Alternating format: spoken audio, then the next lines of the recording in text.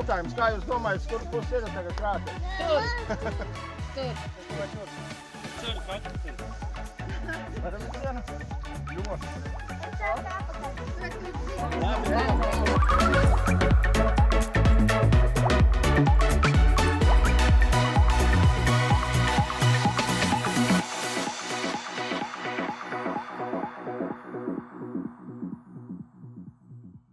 Kā meteorīta krāteris, jā. Šodien te apkārt kaut kāds 60 metrus, laikam esot pāri. Un te ir vēl, vēl vidū, kur ir tā kā krātes no gaisa krītas lejā.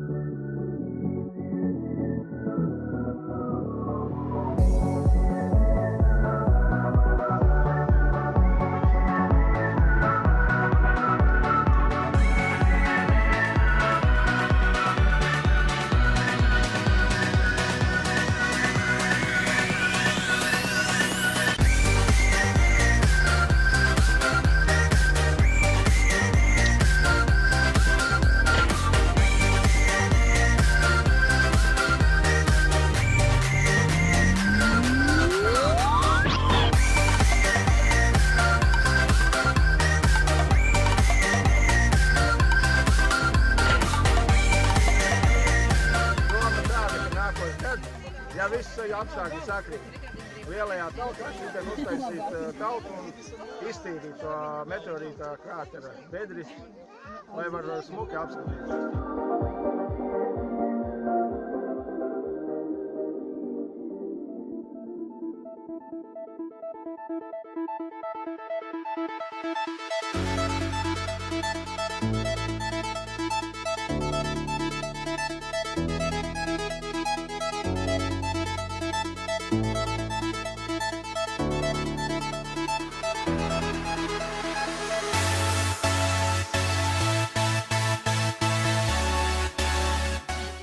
Eiropas sporta nedēļa. Šis pasākums ir Eiropas sporta nedēļas ietvaros, lai veicinātu cilvēku aktivitāti, svaigā gaisā, izklausīšanos. Visi dabūs diplomiņus. Urā!